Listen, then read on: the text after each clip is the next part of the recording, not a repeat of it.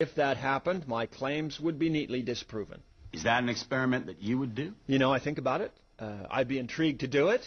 I wouldn't expect it to work, but that's my bias. Now, you claim intelligent design can be tested, correct? Correct. Intelligent design, according to you, is not tested at all. Because neither you nor Dr. Behe have run the test that you yourself advocate for testing intelligent design, right? Well, turn it around in terms of these major attributes of evolution. Have they been tested? You see what I'm saying, Steve? It's a problem for both sides. As the legal teams battled it out in court, the clash between intelligent design and evolution was taking a toll on Dover. Local newspaper reporter Lauri Lebo sat through every day of testimony, and the conflict began to drive a wedge between Lauri and her father. He believed that God really should be in science class. He did not believe in science. And he was all worried about me and because I believed in evolution. And he said, you know, well, do you really believe that we came from monkeys? I was like, at that point I was I was pretty burnt out from the trial and I didn't really have the patience that I probably should have had with him. And I just said, yeah, I mean, you know, yeah, I do believe in evolution, Dad. And so we'd fight every morning if you believe in heaven and hell and you believe you have to be saved, nothing else could possibly matter. Not the First Amendment, not science, not rational debate. You, all that matters is that you're going to be rejoined with the people you love most on this earth. Teaching the traditional evolutionary Darwinian concept that man evolved from lower uh, or forms of life that's almost a slap in my face. That takes the dignity away from humanity as far as I'm concerned. What gives dignity to man is that every one of us are made in the image of God. He is the creator. And he created the world with intention and with design.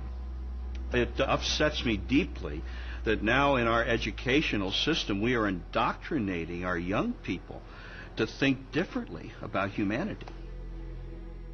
I've never made a secret of the fact that I'm a Roman Catholic, and a long tradition of scholarship in the Catholic Church has argued that truth is one, that science and religion should ultimately be in harmony.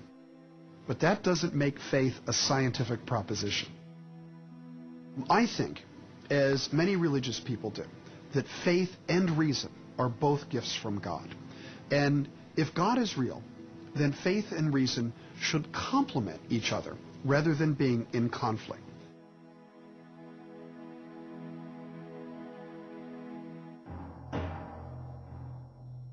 Throughout the trial, Judge Jones would never tip his hand about which way he was leaning on whether intelligent design is science.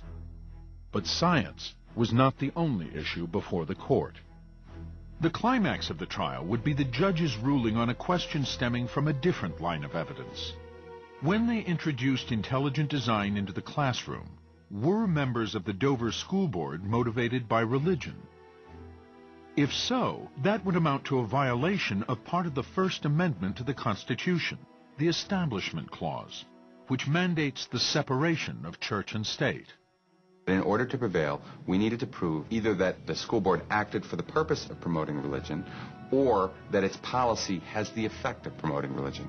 It's, the, it's, it's either purpose or effect, either one. The Establishment Clause says that Congress cannot pass a law which promotes uh, one religion over another.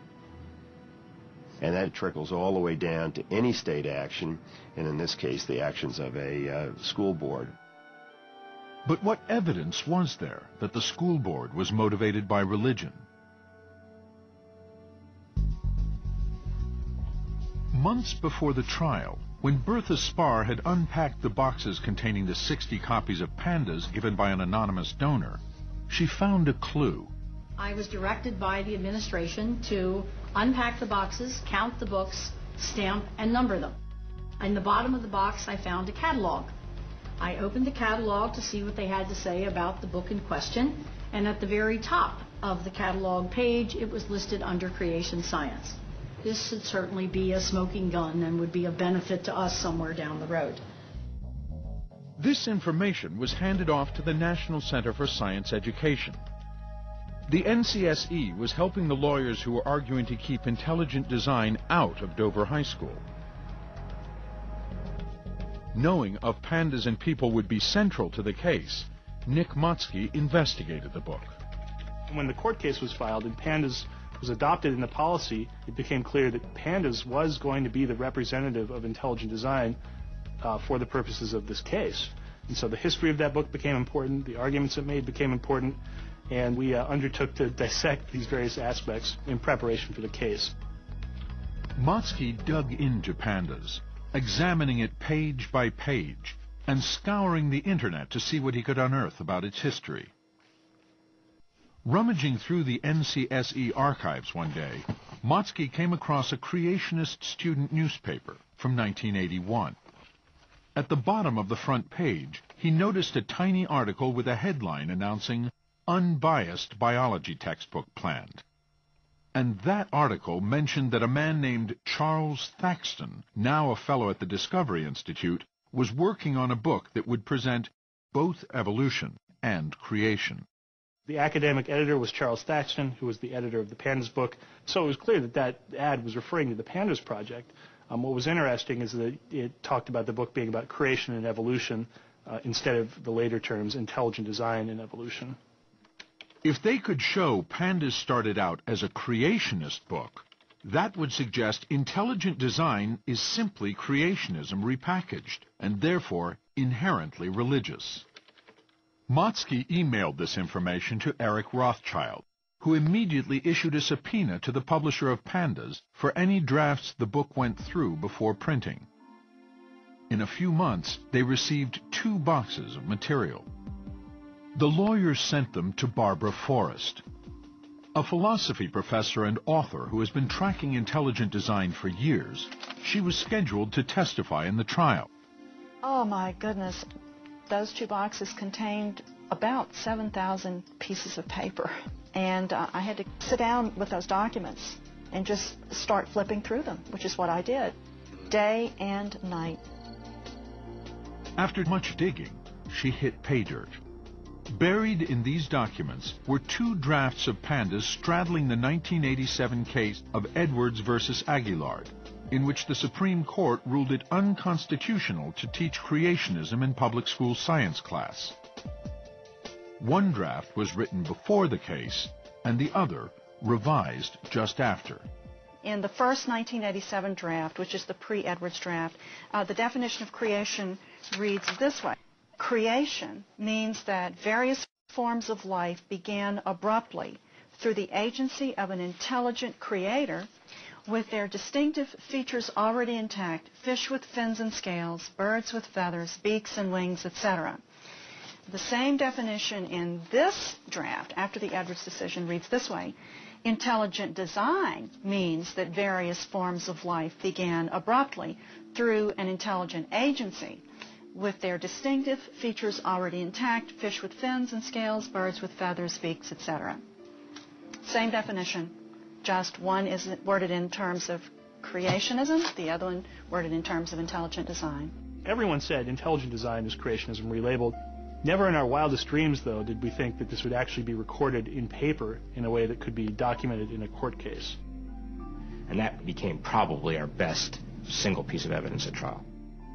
Barbara Forrest's testimony would make a strong case that the Dover School Board was thrusting religion into the classroom. And in comparing the Of Pandas and People drafts, Forrest discovered that the authors had apparently made their revisions in haste in cleansing this manuscript, they failed to replace every word properly. I found the word creationists. Um, and instead of replacing the entire word, they just kind of did this and got design proponents with the C in front and the ISTS in the back from the original word. So the uh, correct term for this transitional form is cdesign proponentsists. And uh, everyone now refers to this as the missing link between creationism and intelligent design. You've got the direct physical evidence there of a transitional uh, fossil.